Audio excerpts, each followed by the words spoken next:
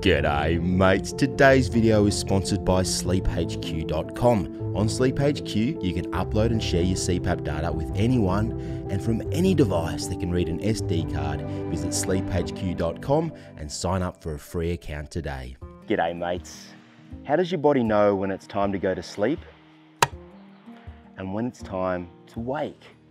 Now I know what you're thinking, it's when the sun goes down, right, and daylight fades. Well, that certainly plays a role, but if I was to go deep underground, where there is no light, well, I'd still fall asleep and wake at similar times without the cues of light and dark.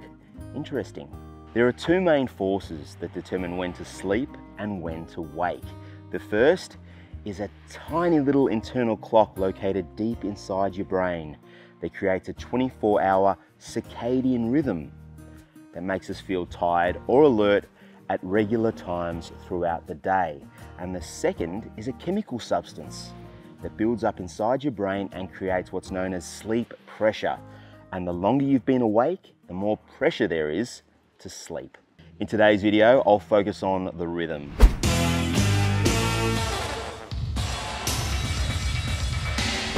Now, nearly all creatures on this great planet of ours create a circadian rhythm, which helps control rhythmic patterns within your body and mind. Wake and sleep, eating and drinking, moods and emotions, metabolic rate, core body temperature, and the release of many hormones, just to name a few examples. And get a load of this the likelihood of breaking an Olympic record has been clearly correlated to the natural peak in the circadian rhythm early in the afternoon.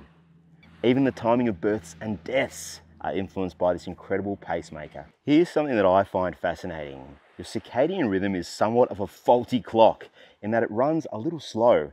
Instead of being 24 hours and in sync with the rotation of the Earth, it's roughly 24 hours and 15 minutes.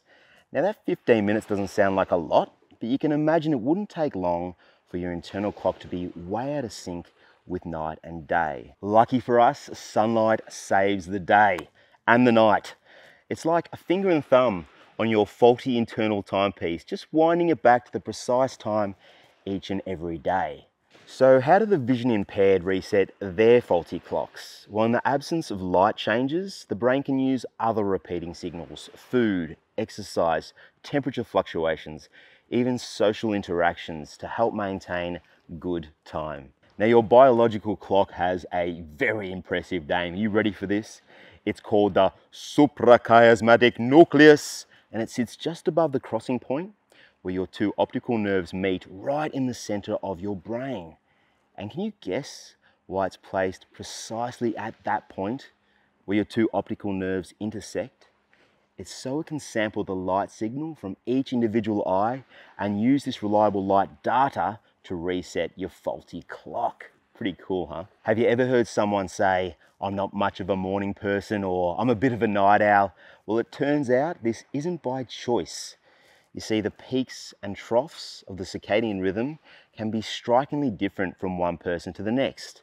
Those morning larks, well, they get their peak wakefulness early in the morning and sleepiness early at night.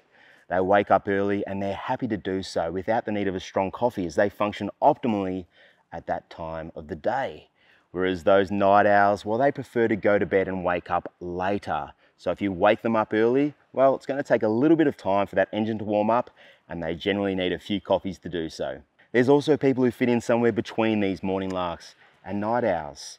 Now, an individual's preference on when they prefer to wake and sleep is known as their chronotype, and it's strongly influenced by genetics. They really don't have a say in it.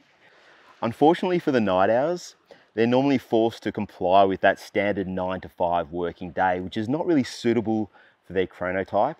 So they normally end up sleep deprived, having to wake up and fit in with all these early rises. Now you may be wondering, how on earth did we get here? How do we evolve this way?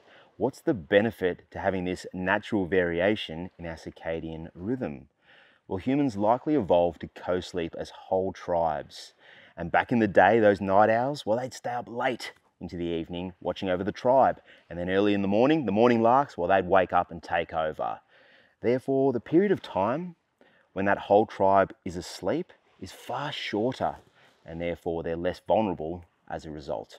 And there you have it, guys. The suprachiasmatic nucleus, this tiny little clock, is the central conductor in life's biological rhythmic symphony. Yours and every other living species. I hope you enjoyed Nicko's little science lesson today, guys. If you did, give it the thumbs up, share it with your mates, and subscribe to the channel for more helpful content. Until next time, guys, sleep well, look after your mates, and I'll see you soon. Bye.